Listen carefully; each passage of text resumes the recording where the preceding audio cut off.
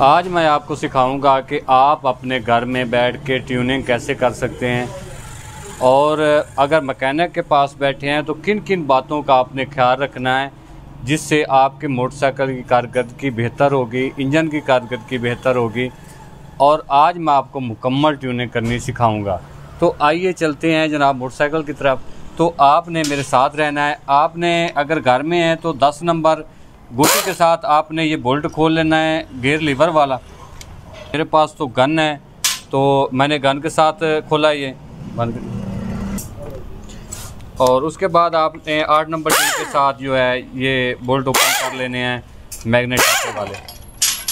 हर चीज़ का, हर बात का आपने ख्याल रखना है, ठीक है ना? तो इसमें कौन कौन सी बात जो है, वो ज़रूरी होती है? ये सिर्फ़ एक अकेला फ़िल्टर साफ़ नहीं करना होता।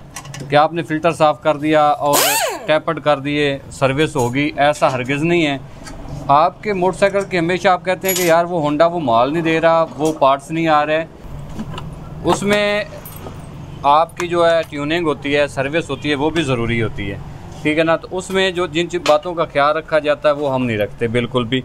जिस वजह से हमारे मोटरसाइकिल की एवरेज कारगदगी जो है, वो बिल्कुल ज़ीरो हो जाती है।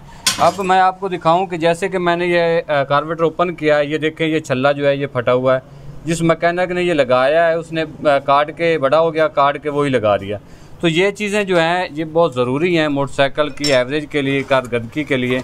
उसके बाद आपने ये बैटरी ओपन कर लेनी है। बैटरी ओपन करने के बाद और उसके बाद आपने आठ नंबर के साथ जो है, ये बोल्ट ओपन कर लेने हैं मैग्नेट वाले। हर चीज़ का, हर बात का आपने ख्याल रखना है, ठीक है ना? तो इसमें कौन कौन सी बात जो है वो ज़रूरी होती है? ये सिर्फ़ एक अकेला फ़िल्टर साफ़ नहीं करना होता। कि आपने फ़िल्टर साफ़ कर दिया और टैपड कर दिए, सर्विस होगी, ऐसा हरगिज़ नहीं है। आपके मोटरसाइकिल के हमेशा आप कहते हैं कि यार वो होंडा वो माल नहीं दे रहा, वो पार्ट्स नहीं आ रहे।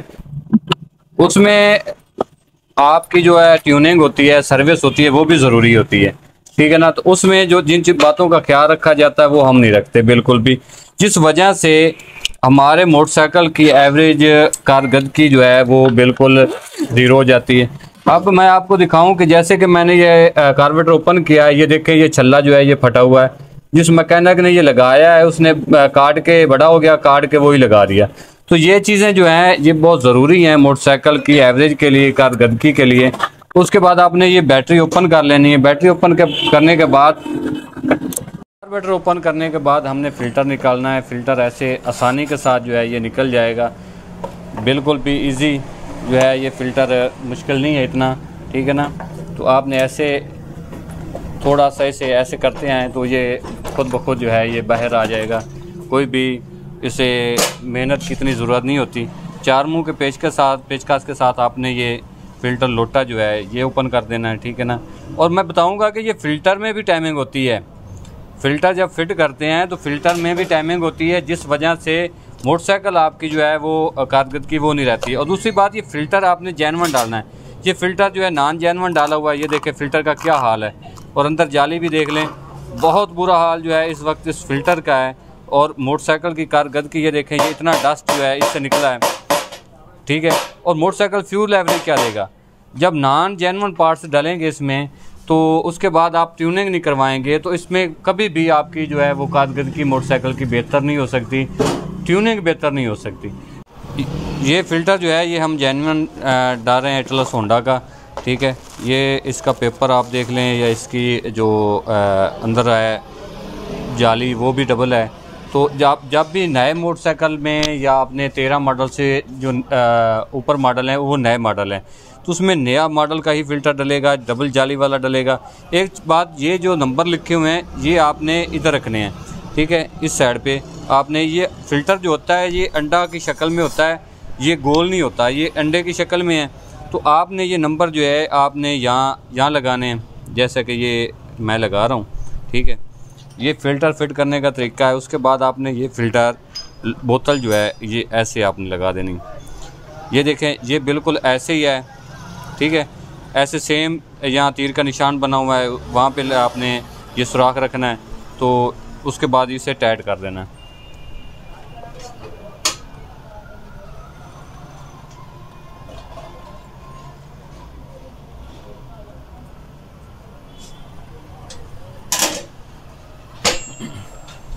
अब बंद। कर दें।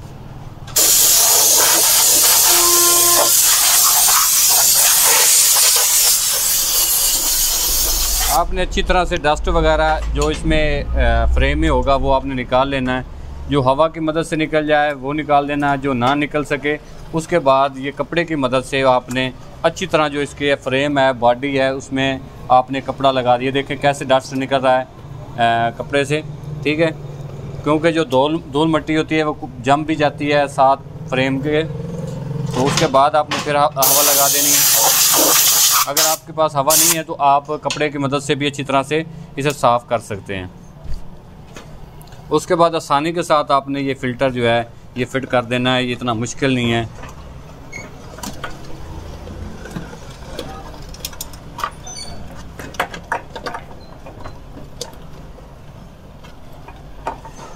अच्छा एक और बात याद रखनी हमेशा कि जो सेवेंटी का कार्बेटर है वो ख़राब नहीं होता।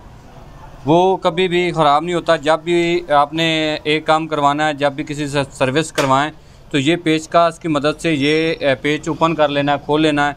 इसमें जो भी अपना कार्बन वगैरह डस्ट वगैरह होगा वो बाहर निकाल निकल जाएगा। इसे ओपन करके किसी भी कारीगर से छेड़छाड़ नहीं करवानी। अगर हाँ ओवर करने लग जाता है तो आपने अच्छे मैकेनिक के, के पास जाके इसकी जो आ, सफ़ाई है वो आपने करवा देनी है। ठीक है? तो मैं बाहर से इसकी सफ़ाई करूँगा वो बाद में तो ये सिर्फ़ आपको बता रहा हूँ। उसके बाद आपने ये करना है कि आपने टैपट करने हैं। टैपट हमेशा जब भी आपने करवाने हैं किसी भी कारीगर से तो टैपट गेज की मदद से टैपट करवाने हैं। वैसे टैपट नहीं करवाने आपने।